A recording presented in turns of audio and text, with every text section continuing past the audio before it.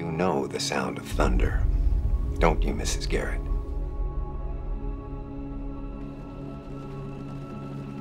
Can you imagine that sound if I ask you to?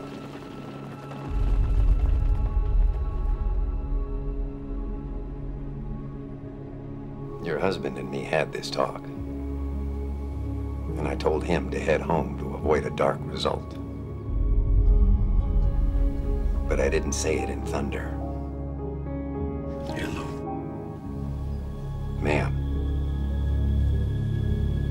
Listen to the thunder.